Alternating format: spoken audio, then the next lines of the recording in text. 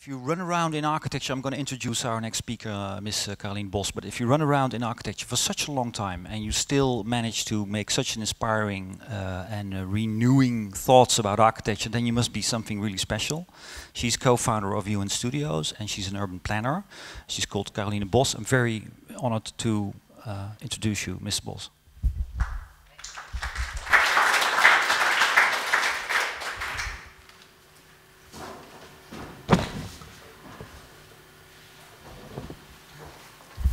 Thank you very much.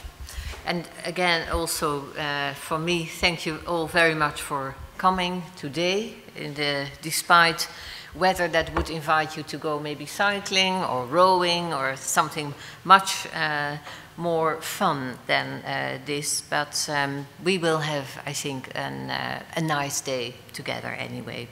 I will stand here because I'm a bit shy, but also because I need to press the button on this uh, thing. But um, what I, yeah, let, let, let me also uh, recap recapitulate a little bit the goal of uh, our, our UN Studio goal here today is to explore together what, what it means, what it, what it takes to become a co-creative practice, which is our aim now and what also knowledge sharing, which is what we are about to do and what we, what we are launching, um, what, what, does, what does it really mean and what does it take? And also, why are we doing it actually? why, why do we want to do that?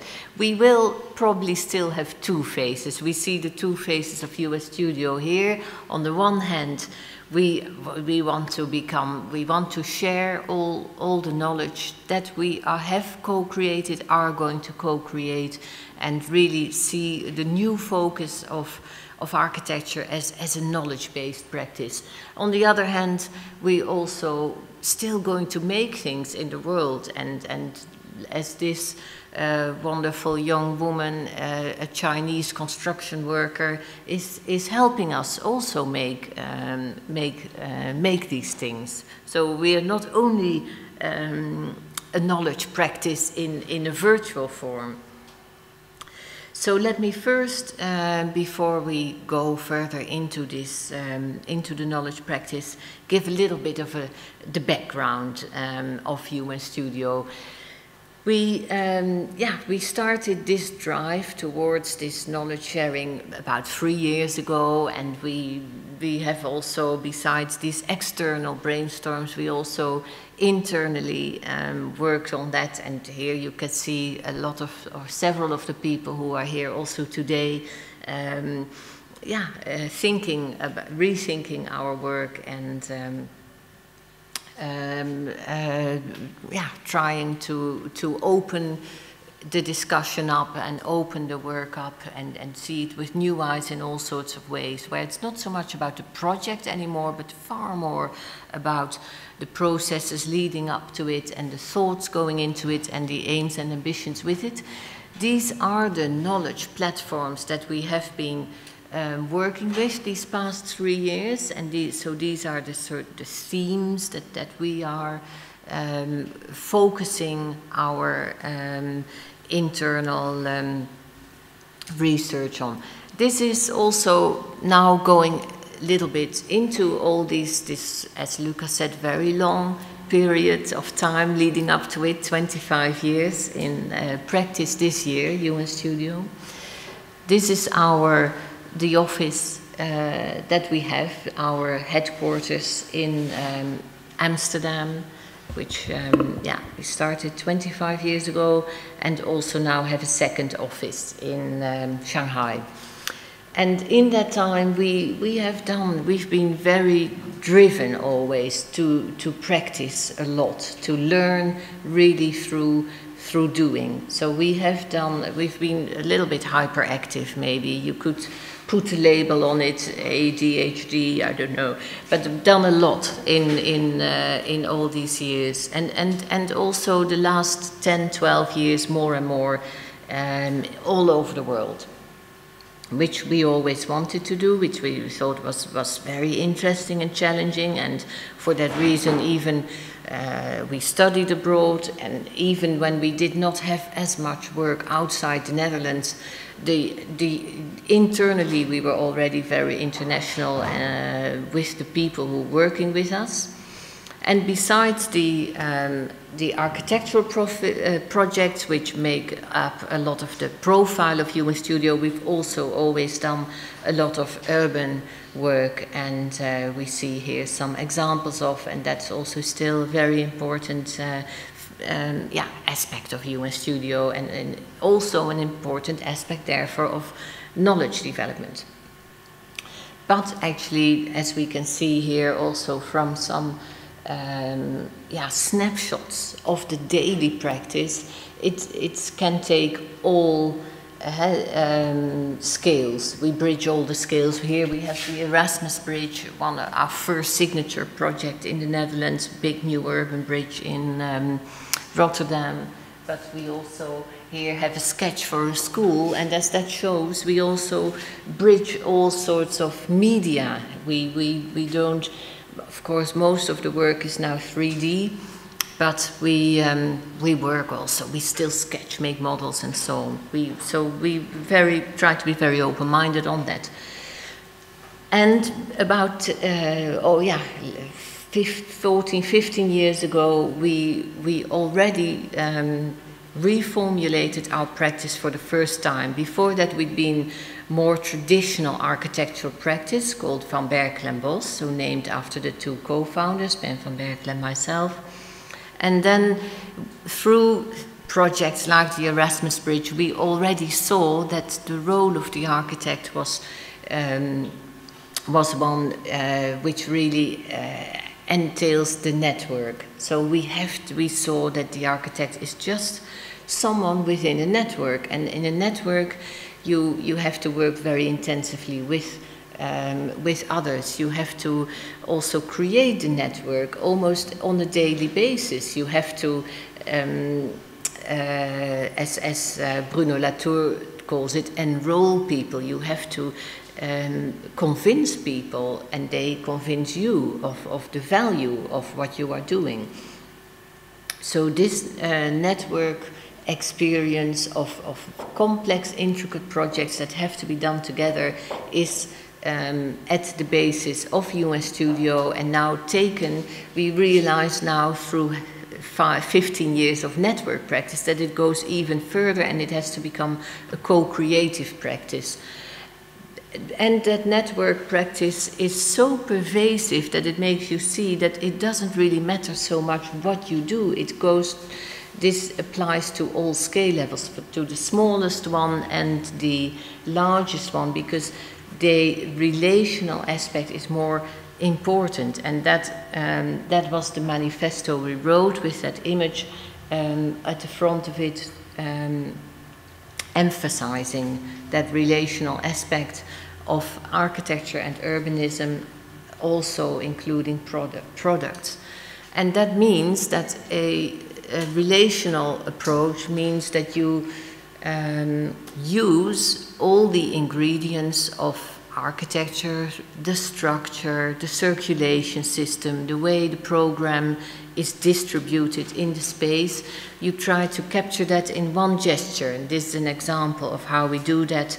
We see um, a grid, um, which is, of course, a three dimensional grid, which pulled uh, pulled apart, thereby creating interstitial spaces which then can be used up for um, circulation, construction, uh, letting light in.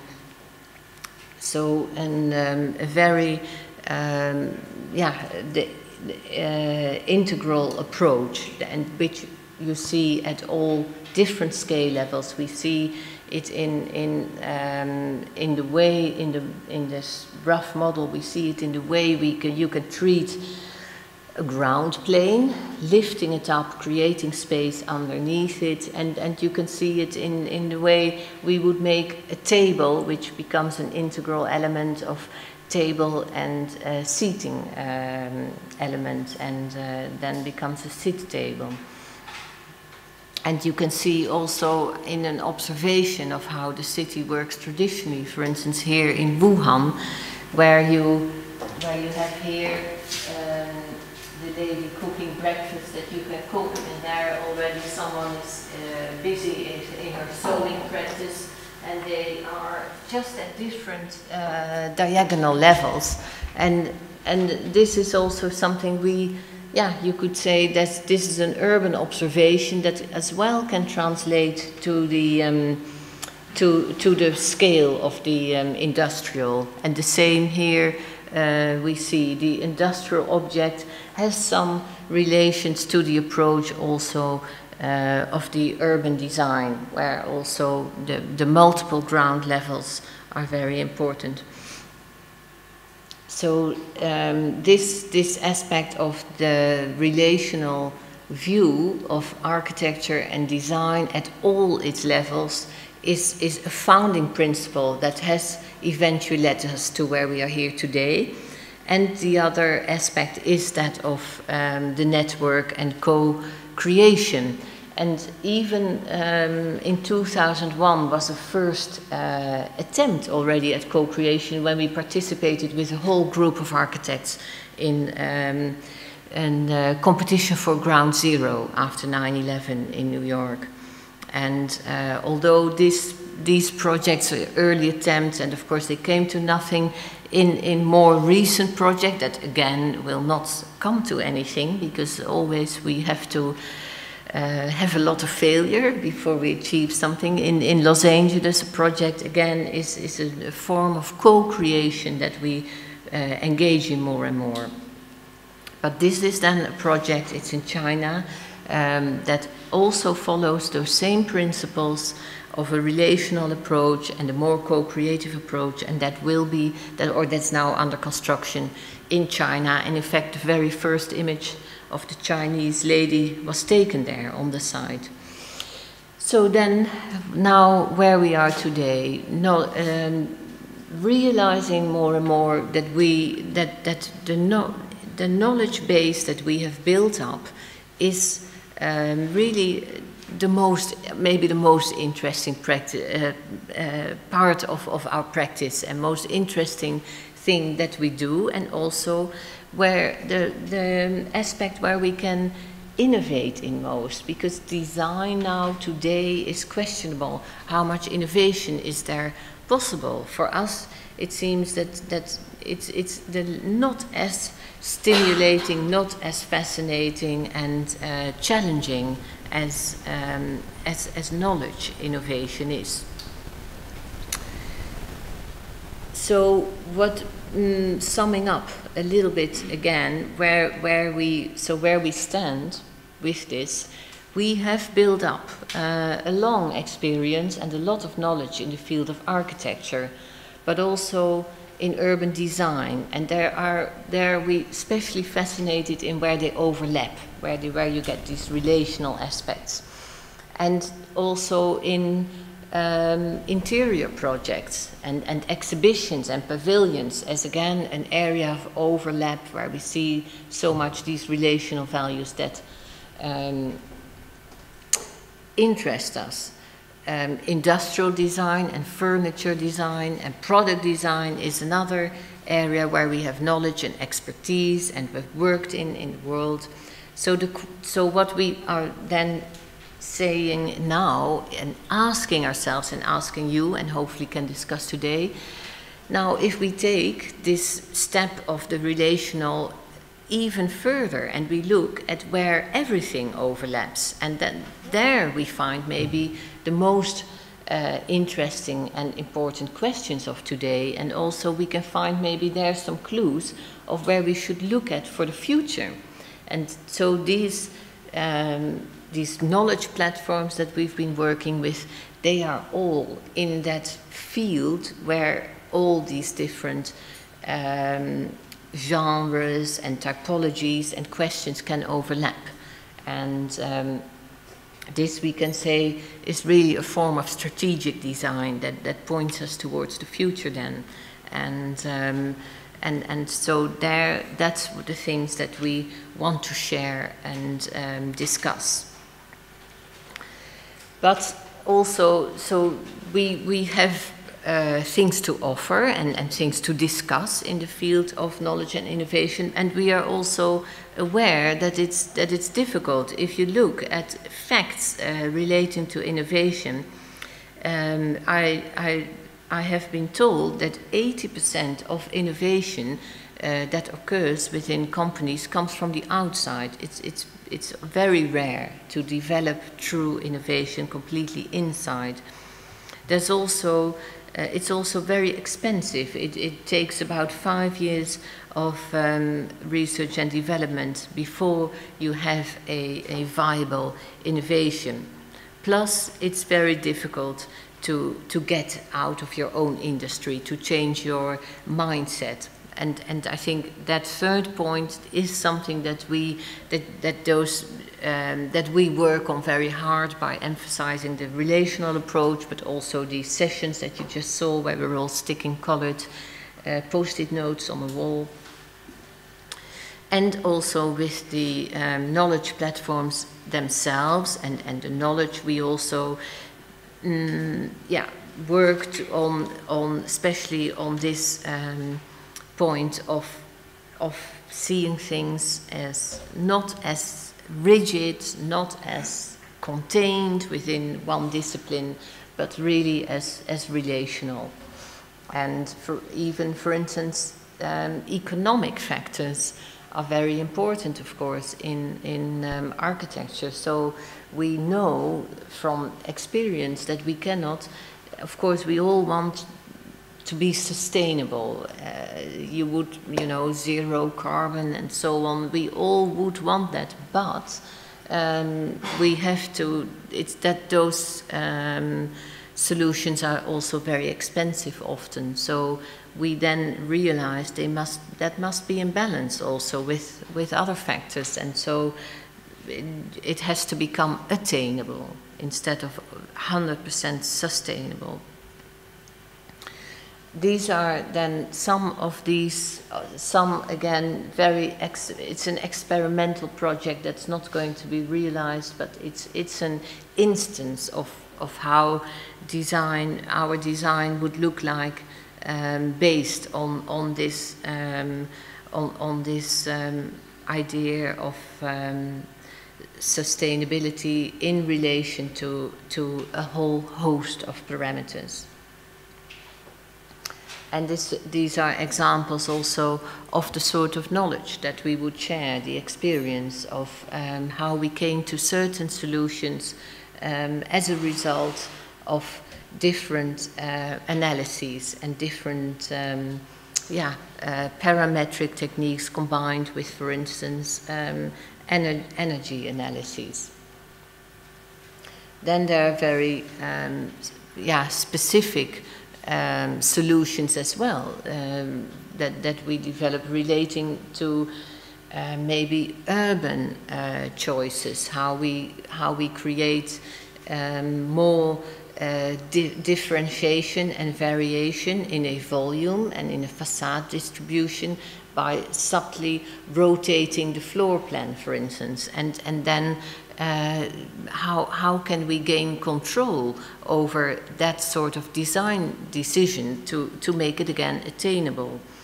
And that those are um, yeah, real life experiences that we have um, undergone. And same with that project now under construction in, um, in China is an example of a, a very tall um, tall structure, it's sort of twin towers that are positioned uh, diagonally, creating a, an, um, a, public podium underneath, um, letting in light through these shapes, uh, cut out shapes from above, Um, so there's many different experiences with public projects, with residential projects that yeah, have led to um, these design decisions and being able to carry them through in all, in all the details. Another example of the sort of, of knowledge, so it's, it's very uh, specific knowledge often in our cases, and um, can, here in, it's about an, um, in this case it's about a material where we, um, it's already an older project, but, it, but um, this is an, um, uh, this, this is an, um, a material that we sort of invented in an uh, accidental way as the we discovered a colored foil that had been actually discarded by the manufacturer but because it was too vibrant, but by um, putting it uh, in between two glass plates, we, we found that it was an excellent internal facade material. Production techniques uh, are another example, and um, for instance, this project is an, um, an uh, exercise in um, a very thin uh, um, concrete uh, material is, is being developed currently.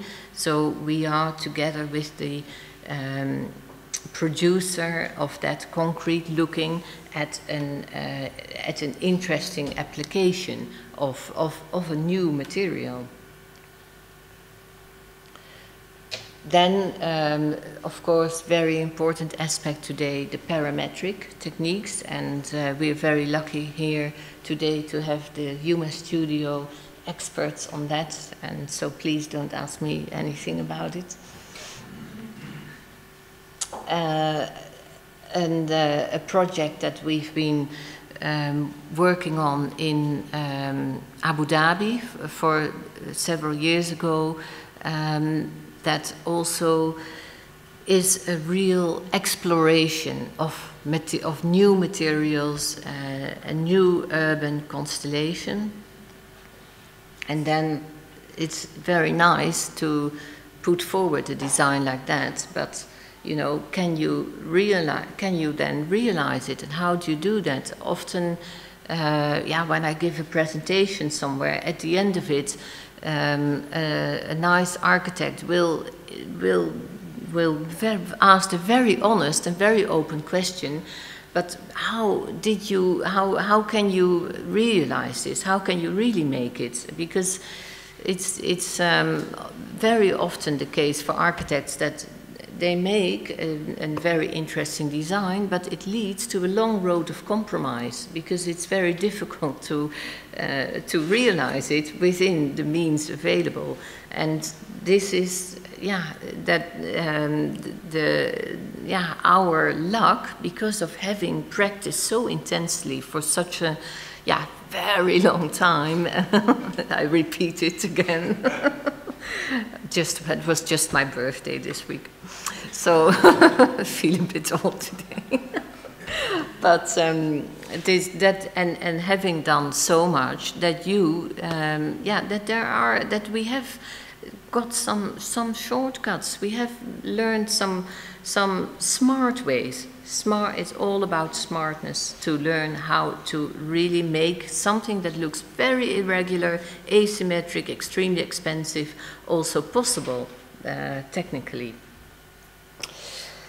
Um, so the um, yeah, this is very difficult to explain, but different aspects, we distinguish now also different aspects that um, link maybe uh, projects together in an, um, in, a, in a thematic way. For instance, we see that a lot of our design is then based on aspects of duration and time and so we make our own history and thereby question what will be what's the future of this form of of design. Material dualities is another topic that we can see. We see a lot of that uh, happening, and where is that? Uh, where can that provide a real social solution also?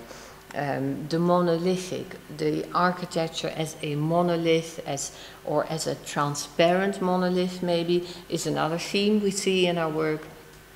And then finally, something that we that that we see that that we are really um, have have invested in a lot over the years is is the sort of new invention of the void. Um, so I'm, I'm sorry that I'm uh, dumping so much information on you at this early moment of the day, but um, uh, I hope to have offered just some starting points for a conversation and really look forward to hearing a lot from you. I think that's what the most important thing will be today. So thank you very much and let's soon discuss. Lucas.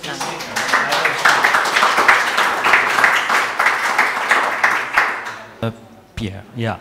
Um, yeah, please stay there so we can ask a few questions. I will, I will ask the first one and then you will ask the second one, okay?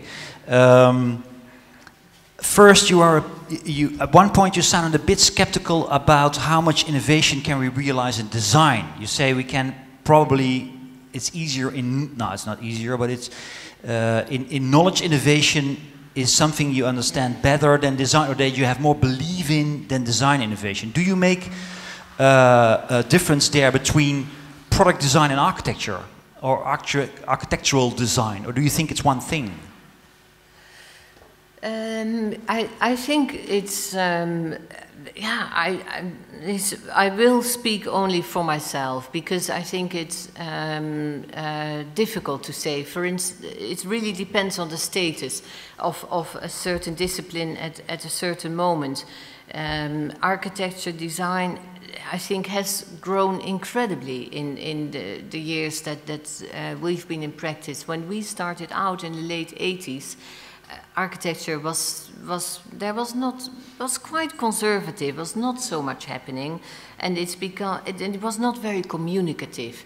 And it didn't use many contemporary techniques at all. It was really still very traditional, and it has opened up a lot. And, and we can be critical about that because it has also led to uh, I, the icon architecture a lot and, and uh, of, of, every building competing to be more extravagant than its neighbor.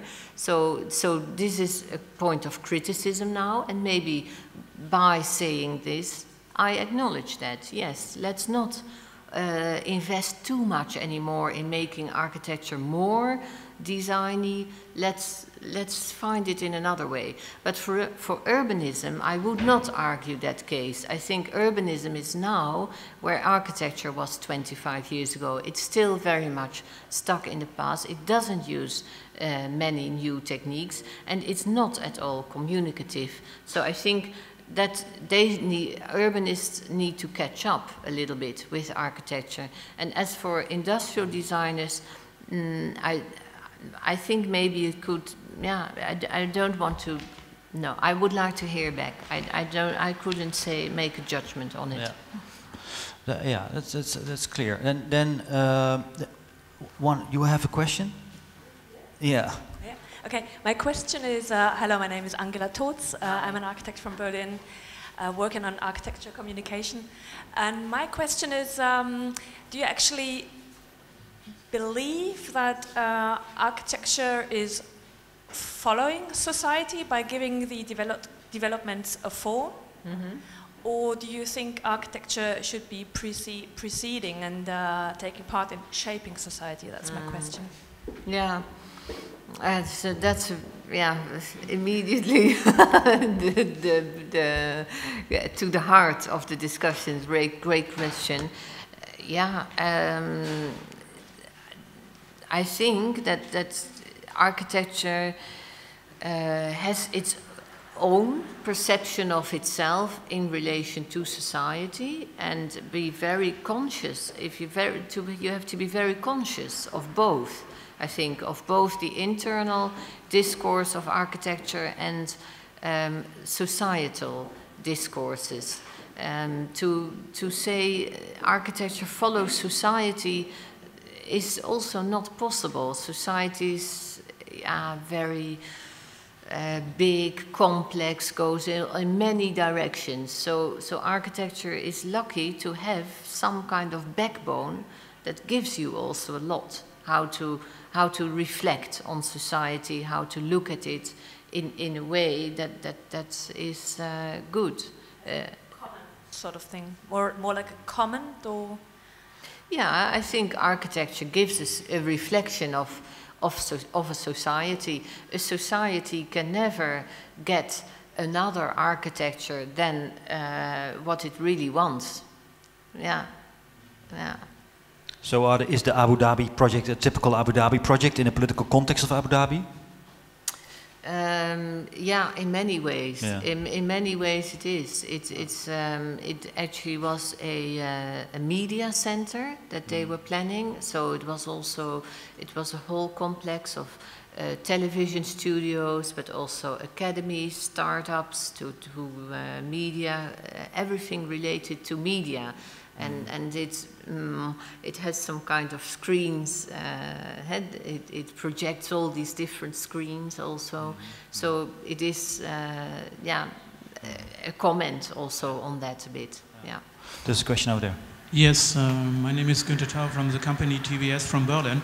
And um, I would like to come back to your uh, sentence that uh, the innovation cycle takes at minimum five years. Mm-hmm. And uh, maybe it's the case in architecture, but when I'm looking on industry, on the industry, you know, the, the innovation cycle is getting shorter and shorter. That means, you know, maybe uh, 30 or even up to 40 percent of the products will come to the market in the next two or three years. Really? are actually, uh, well, still in the development pipeline. So I think the, the, the, cycle is getting shorter and shorter.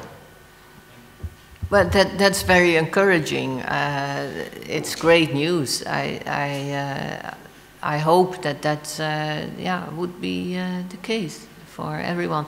I must say, yeah, architecture is exceptionally slow. We often cannot use also a material that's innovative because uh, by law it's required to have a 10 year uh, warranty on the material. And if it's so, if it's a very new material, the manufacturer won't be able to provide it. So you run up against all sorts of regulatory problems also.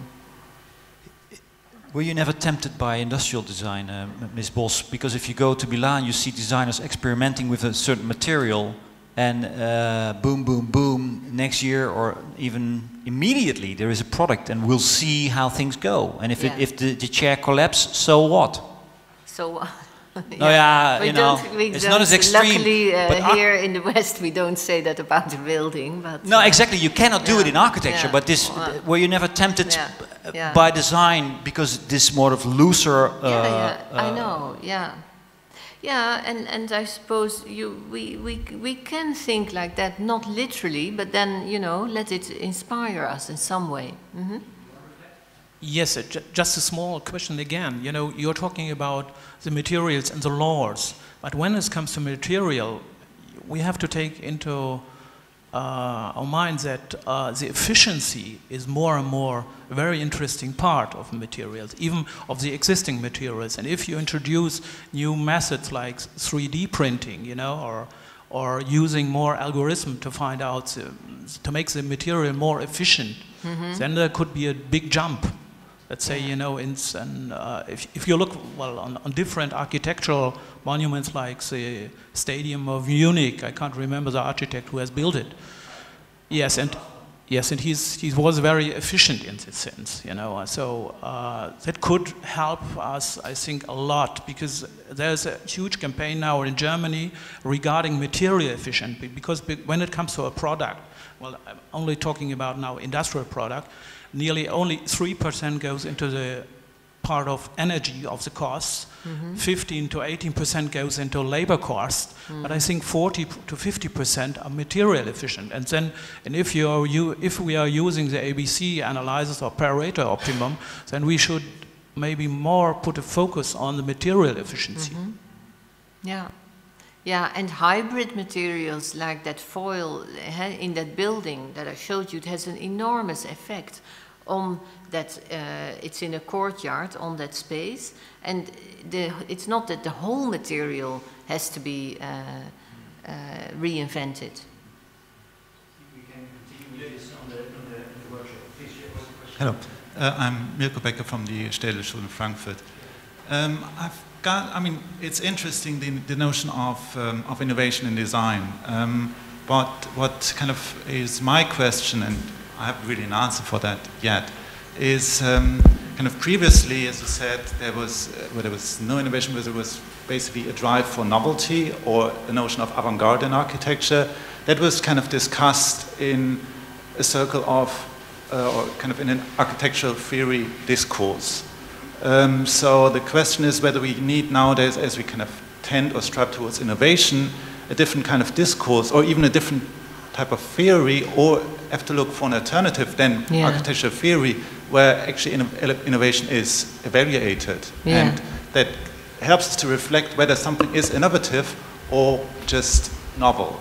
Yeah, yeah, I believe that, that very strongly. I think that uh, for instance, for sustainability, it's a real problem that we don't have a strong internal theoretical discourse that uh, that supports that from within for architecture. So it's always, I mean, we talk a lot about um, passive and active and add-on and so on, but still, it's it it will only be, I think, a very strong um, thing in architecture if there is also, if it's completely one-on-one -on -one overlap with, um, with a real discourse that, that, that's also, um, yeah, uh, is in line with that whole history of discourses in architecture. As long as it doesn't feel right completely in that way, uh, it will be very difficult. It will always be uh, yeah, not, not completely inherent uh, to architecture itself. Yeah. Last, uh, last question. I'm from the Institute for Computational Design in Stuttgart, and I have um, a question which obviously bothers me a lot because we work with uh, robots and digital technologies.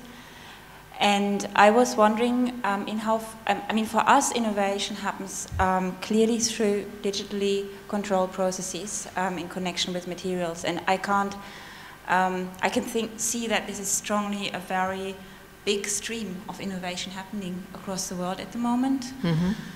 And I was wondering in how far the offices or an office like yours is considering taking that right into the office, i.e., buying a robot, um, experimenting mm. with materials. Um, yeah. Sure. Yeah, we. Um, we uh, we would I think a robot would be great. Uh I come across them more and more, you know, when you visit now an, uh, an academic institution, maybe in, in Barcelona or, or uh, even in Al Sharjah, was they all have robots. So I do uh, think, yeah, where's our robot? but uh, no, absolutely. But we are very. Um, we will never get something for the sake of it. We, uh, with UN Studio, we will never let the technology become completely leading because that we would, um, yeah, that this is, I think, something that architecture, we had a discussion about it. Uh, I can't remember now who is, but yeah, internally also. Um, Oh yeah, we had an, we had actually uh, this we rehearsed we had a general rehearsal of this conference internally uh, last Friday in the office, and so we talked with the whole office about the same sort of topics, and and this is maybe a problem that architecture. Um, was so much using uh, the technologies that were uh, coming from other industries, especially relating to computers. So we, we would find uh, animation programs in Los Angeles not used for art, and then we say, well, what could we do with it as architects? And that's how it all started, and and and that's maybe mm, there would be the same thing with robots. You'd get this big robot, and then think, What could we let the robot do? Yeah. Maybe short uh, answer from this side. Yeah. um, uh, we will see a little bit only later in the workshops. We don't really have a big presentations on the content of the knowledge platforms today. But um, very shortly, also, I'm uh, leading the smart parameter platform in the office. We don't have a presentation today, but uh, obviously the, um, we don't have a robot. It's, uh, I tried to get it in the budget for next year. It didn't quite work out. but uh, uh, we do have uh, several techniques in the office. A very active uh, model room with uh, with 3D printers. So we have one 3D printer for our kind of daily 3D printing on, on models, but also uh, looking to other ways. How can we really um, bring it a step further? So we have another 3D printer just for testing purposes on, on design. So really uh, on the quick one, uh, very cheap 3D printer, um, how can these really inform the, the design process? That's on, on, let- let's say, our side. And of course, on the fabrication, that's a whole uh, different scale. And, and mostly in that case, we, we search the opportunities to work together with companies because we, we probably can't find, uh, find the, the, the money to find a robot for, for in-house.